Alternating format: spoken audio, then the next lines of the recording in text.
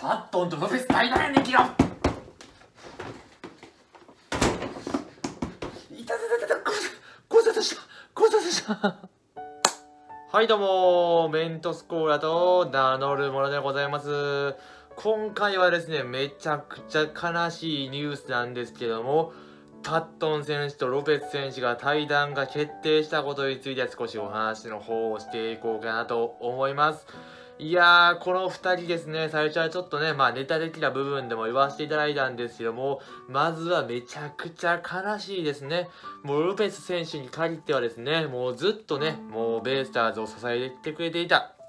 えー、来年からやっと日本人枠も取れたということで、えー、長年本当にベイスターズをね、支えてくれていた、えー、選手でしたので、本当に悲しい。えパットン選手もですね、中継ぎをね、え支えてくれていた、えブルペンギータ的なね、え存在の選手でもありましたので、この2人が対談が決定したということは、本当にね、悲しいというものが第一、えー、感想であります。まあ、その中でですね、本当にね、もう賛否両論と言いますか、いろんなね、えー、ファンの方々から意見というものが、えー、飛び出ているんですけども、まあ、私の意見を、え言わせていただくと、まあ、二人とも対談という風になってしまったのは、えしょうがないことなんじゃないかなっていうのはね、考えています。まあ、まずね、パットン選手なんですけども、パットン選手ね、本当にね、えお金を本当に2億ね、えぐらい積んでも残っていただきたかったっていうところはあるんですですけども、まあ、本人の希望からすると、えー、メジャーにぜひね、えー、戻りたいということを言っていますので、まあ、ここばっかりはお金の問題じゃないのかなと、えー、残留交渉もね、えしなかったということで、えニュースからは読み取れるところがあるんですけども、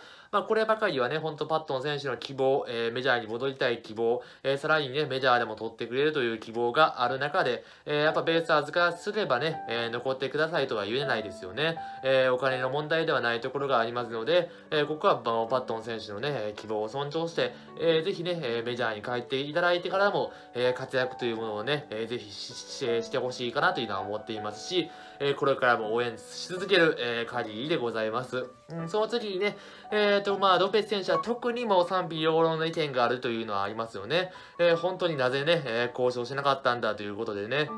まあ、多くの意見が飛び出していくんですけども、まあ、先ほど言いました通り、ロペス選手に限ってもちょっと対談という感じになってしまったのは、えー、しょうがないのかなというのはあります。まあね、大型原法で、まあ、ベイスターズからすれば、まあ、代打で、えー、日本人枠取りましたので、えー、主に代打の起用で、えー、来年は、えー、行ってほしいというものが、えー、希望だったというのは思うんですけども、まあ、ロペス選手の、まあ、希望からすると、ぜひね、えー、まだまだスタメンで出たいと。えー、やはりね、今年はね、えー、後半戦からはね、かなりね、いい活躍というものをしたんですけども、まあ、トータルで見てもね、OPS が6点台ということで、まあ、ハマスターにしてはちょっと寂しい成績で、えー、やはりね、38歳という年齢はありますので、えファーストでスタメンを確約するというのは、ちょっとベースターズからすれば、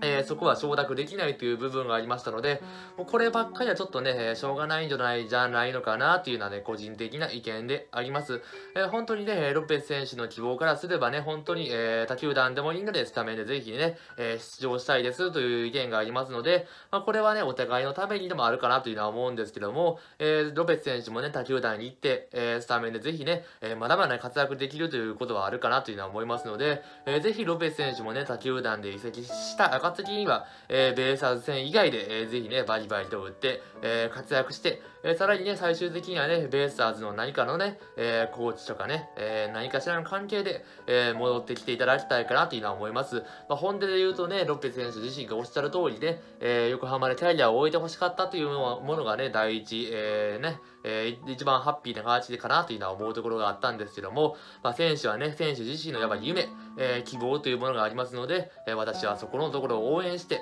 えー、ね、えー、今後の活躍というものを期待していきたいなというのは思います。えー、こんな感じでね、ちょっと駆け足で動画撮ってしまいまして、また埋まらないところも多かったというのは思うんですけども、えー、こんな感じで今日の動画を終わっていきたいなと思います。えー、ぜひね、皆様の意見というものをね、コメント欄でしていただければなっていうのはね、思っておりますので、えー、ぜひね、お願いいたします。はいね、今日はね、こんな感じで終わっていきましょう。はいね、ここまでご視聴ありがとうございます。えー、よければチャンネル登録、高評価、コメントをよろしくお願いいたします。えー、いつもね、こんな感じで撮っておりますので、また見てください。それではね、お疲れ様でした。さよなら、バイバーイ。勝負がかかる、痺れる瞬間、流れを我らに、アニボロペス、チャモ、チャモ、ロペス。